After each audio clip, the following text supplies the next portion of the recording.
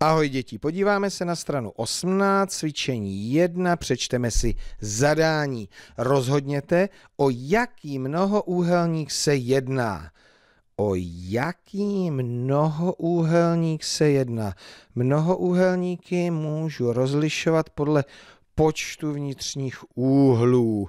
Napočítám je, ty vnitřní úhly, a podle toho odvodím název. Tak se do toho dám úloha A jeden, druhý, třetí, čtvrtý, pátý, pět úhlů, pěti úhelník.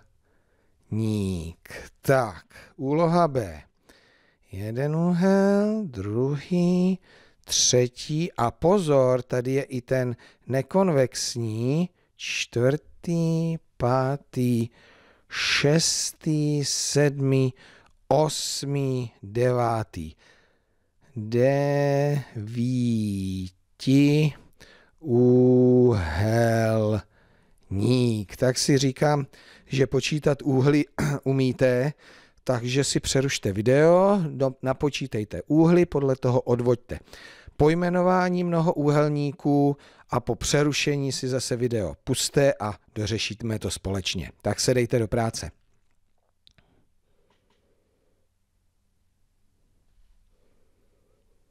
Tak, máme napočítáno. Tak, úloha C, jak jste počítali?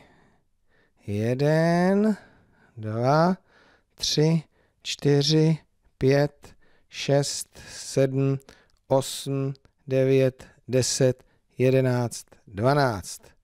Já napíšu jenom takhle číslici, vy jste napsali 12 úhelník. Dčko.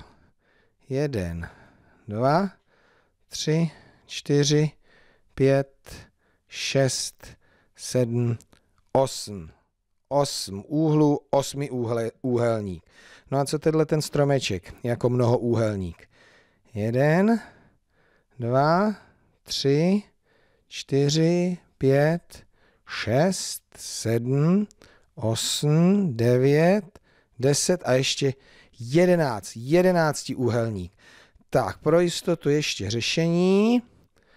Pětiúhelník, devítiúhelník, dvanáctiúhelník, osmiúhelník, jedenáctiúhelník.